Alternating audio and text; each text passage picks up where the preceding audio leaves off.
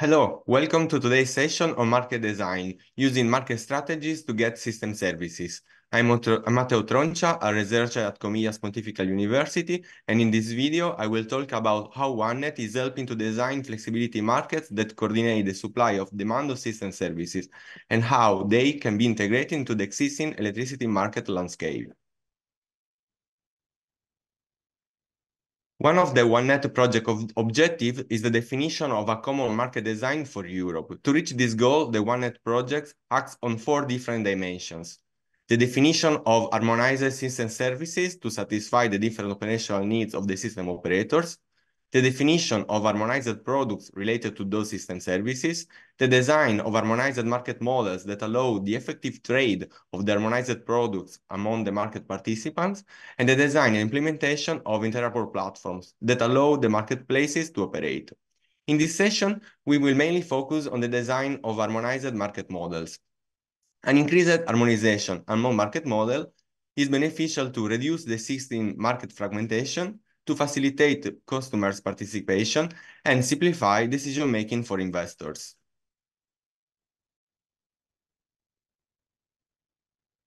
Before starting, let's provide some key definitions that have been fundamental for developing the OneNet activities.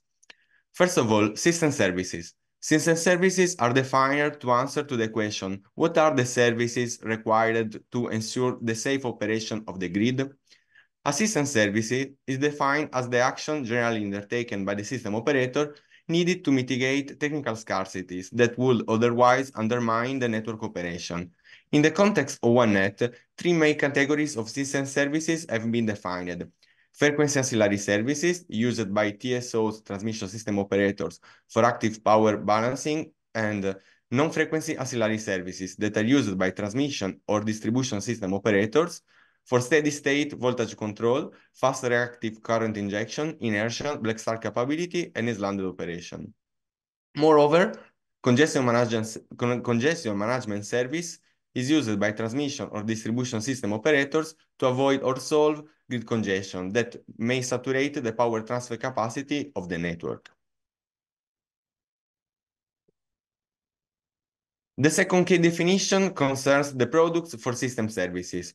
A product is defined as the as the tradable unit that the system operators acquire for the system service from the system service providers, and that entail the, the option to deliver a system services in case of activation. And the activation can be automatic.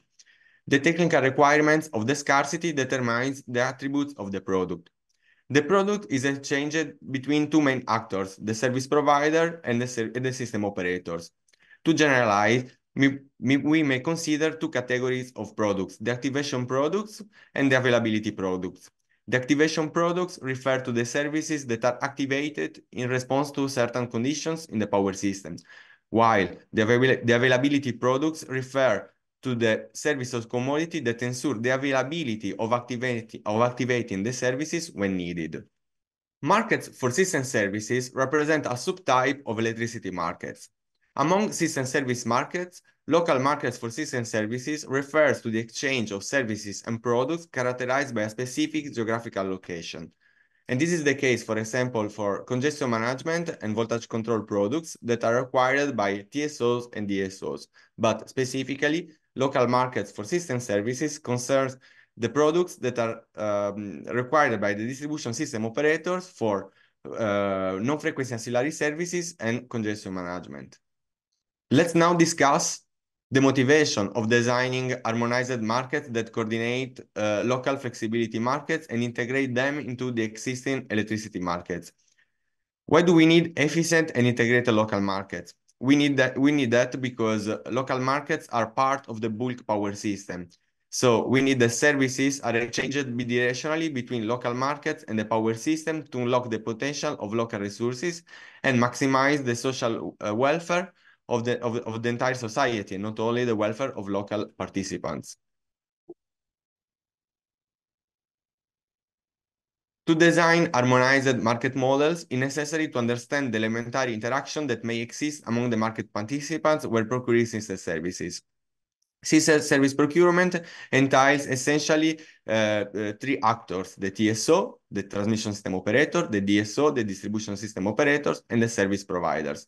This interaction uh, can be based on two main type of coordination. The market-based coordination, in which the actors interact between uh, themselves by means of a market architectures, in, in which they exchange the, the products related to the system services, and the technical based coordination that entails the technical arch architecture for information exchange and control actions uh, that facilitate the exchange of products and the activation of system services. Based on the analysis of the market-based coordination that, and that uh, defines the interactions among the actors, in the OneNet project, we, we have uh, proposed and developed an extensive theoretical framework that can support uh, mm, markets for system service analysis and designs. The theoretical market framework is formed by several pillars and dimensions. These pillars are the following. Entire market architecture, sub-market coordination, market optimization, market operation, and network representation. The first two pillars set up the entire market structure and define the coordination type, while the last three pillars describe the market clearing dimension. Some of these features apply to the entire market architecture and define how the markets coordinate and integrate uh, with, uh, within themselves. The theoretical market framework is a powerful market design tool since going through each pillar and selecting the desired attribute for each feature, the system service markets are designed while considering the content requirements and also by considering the integration into the existing market architecture. Another concept related to the theoretical market framework is how to formalize the harmonization. In the OneNet project, we have been proposing solutions for market coordination through harmonization. And different markets can cooperate by using efficiently the same pool of resources if they are harmonized. The conditions uh, that characterize harmonized markets are product compatibility that requires product harmonization, and market design compatibility that requires market harmonization. If, the, if those two conditions are satisfied, bid forwarding can be used as a mean for coordination. It's allowed to allocate resources between different markets, creating value for our participants. So we consider in OneNet as bid forwarding has a mean for coordination between different markets. And in this schema, you can see how bid forwarding can be realized you can see that uh, the bids that are not cleared in market A can be forwarded to a second market, market B, to participate in the market clearing of this second market. Eventually, uh, in order to allow uh, the bids to participate in market B, we may need some harmonizing process that allow the forwarded B to, uh, to ensure their compatibility and to comply with the conditions that uh, are established for the receiving market. Now, let's move on to the developments of the OneNet demonstrator. In this picture, you can see the OneNet market architecture of the Northern demonstrator. You can see uh, that uh, thanks to the theoretical market framework, we can have a graphical representation of the market architecture that defines the system service procurement, uh, in this case for the Northern demonstrator. The horizontal axis represents the temporal dimension, while on the vertical axis, you can have the buyer dimension. So it represents among the system operators who is the one participating in uh, buying the system services and the related products from service providers. The OneNet, the OneNet Northern demonstrator is characterized by two layers, the TSO DSO layer, so both, both uh, system operators can buy uh, from the same service providers, while on the top, we have the TSO layer in which only the TSO is the one buying the system services from the service providers. Each block in this, in this picture represent a specific uh, market that um, in which um, a specific type of tradable unit, so uh, a product, is exchanged. We have we range from long-term markets for availability to near real-time markets for uh, activation. And um, another, important um, aspect that can be observed in this uh, slide is the fact that the markets are coordinated and integrated. Uh, in fact, you have with yellow arrows um, a participation forwarding due to availability commitments. It means that we have that the service provided cleared, cleared in, in, in one market are committed to participate in the subsequent activation market since uh, they are um, they have to participate in this second market to to um, to provide their activation products related to uh, to the availability product that has been changed in the previous market. Another type of coordination is bid forwarding. So we have that from our market, we have the market clearing, and then the, the bids that have been not cleared in this market are made available in a second market to be cleared. And uh, this type of bid forwarding can be um, temporal, so that uh, bid forwarding is between two markets that uh, follow a temporal dimension, but also can be vertical, so that we can have that bids from a local market can be uh, cleared then in a, in a second in a second market that is a central market that um, escalates uh, from uh, from a layer to another. In this second picture, you can see the market architecture for the Polish demonstrator. Also in this case, you can have that the markets range from long term to short term in the temporal dimension, but in this case, you can also see that uh, we have two separate layers, the DSO layer and the TSO layer. So in this case, we have a market, a market architecture that is based on a de decentralized model and the, um, the bids that are exchanged in the local market uh, for activation are then, if not cleared, aggregated and forwarded to the central markets for the integrated balancing and congestion management market of the TSO. all, all, all the demonstrators uh, of the OneNet project have been analyzed thanks to the theoretical market framework using the concept of bid forwarding. And thanks to this analysis, we have identified several challenges. I will only mention some of them. So one of the market design challenge relates to integration. And uh, in particular, um, the, the challenge that has been identified by the, by the, um, by the OneNet demonstrator is how to en en enhance the TSO-DSO cooperation at national level. And the complexity of this uh, task um, is how to define an efficient multi-level TSO-DSO structure. Some demonstrators have been proposed a solution that prioritize local markets with flexibility allocation from local to national markets. So as we have seen in the Polish market architecture, we have a decentralized optimi optimization that ensures that local constraints are accounted before scaling to a national perspective. Uh, another challenge that also relates to the aspects of integration uh, uh, concerns the integration of local and national markets into one cross-border ar architecture involving multiple TSOs and DSOs.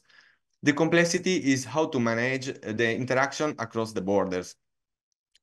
Some demonstrators have adopted a common TSO-DSO market architecture, as we have seen for the um, for the representation of the northern demonstrator. So we have that the TSO and DSOs are integrated as buyer in a single coordination platform that realize a central market optimization. So we can see that to solve the a, a same challenge, the OneNet the OneNet the project have provided two different kind of solutions that both performed well. A second challenge that um, arises from uh, the definition of integrated um, and coordinated market for system services is how to represent the network and how ensure that uh, we don't face uh, electricity operational disruptions because with increasing distributed energy resources participation in the market, avoiding electricity operational di disruptions becomes more complex. Uh, the OneNet also in this case, the OneNet demonstrators have proposed different solutions. For example, we have bid filtering and aggregation at DSO level with grid constraint check before forwarding to the TSO market, or a flexibility register with pre-qualification to ensure that grid constraints compliance uh, the grid constraints um, um, requirements are met, and then we have a coherent bid selection among some markets to avoid uh, double clearing. Okay, let's move to conclusions. In this session, I presented some insights on the OneNet contribution to market design, and I gained expertise in deploying coordinated integrated markets for system services. Integrating local markets with, the, with upstream markets unlocks the potential of the available resources. The key actions identified to address the market integration challenges are the definition of harmonized procedures for integrated markets to enable the coordination between them and maximize the potential of allocating the available resources. Enable bid forwarding between local and up upstream markets allow to enhance the value stacking and increase market participation. Another action is related to the reduction of entry barriers to end customers by addressing a systematic design of the market dimensions, considering the requirements of all stakeholders. Then, the deployment of interoperable, plat interoperable platforms to allow the different actors to interact, the different markets to operate, and, and to enable economies of scales that simplify decision-making for investors. Okay, that's all from my side. Thank you for your attention. And uh, I, I like to give a shout out to my colleagues who contributed to the work that I shared today. Thank you for your attention. And if you have any question, feel free to reach me out via email.